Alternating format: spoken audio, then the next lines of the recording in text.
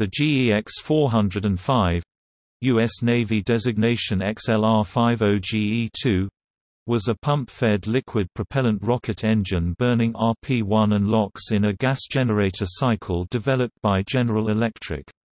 It was used to power the first stage of the Vanguard rockets on the Vanguard project. As was common to engines based on the V2 experience, the turbine was driven by steam generated by catalytic decomposition of H2O2 and the combustion chamber was regeneratively cooled. The engine was gimbaled to supply thrust vectoring.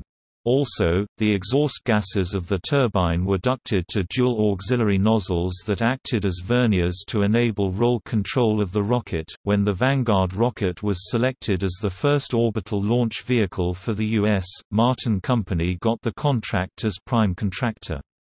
Given the required thrust levels, the Viking propulsion the reaction motors XLR-10 was deemed insufficient, and General Electric proposal, based Hermes program, was considered more fitting and a less risky choice than Reaction Motors' next project.